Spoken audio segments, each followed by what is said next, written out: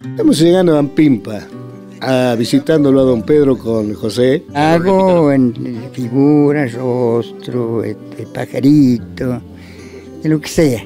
Lo que le muestre la naturaleza en la madera. Un artesano de 84 años que se dedica a tallar la madera junto con sus hijas. Y hoy vino un gran amigo, el senador Perovi.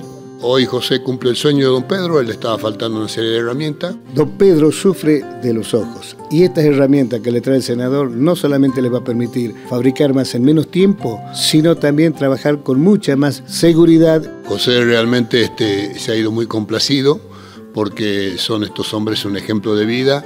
Eh, con su edad, eh, cómo siguen trabajando, apoyando a su familia y para nosotros esto nos da fuerza para seguir adelante con todo lo que venimos haciendo a diario agradecerle infinitamente todo lo que Él hace y nos regala a nosotros.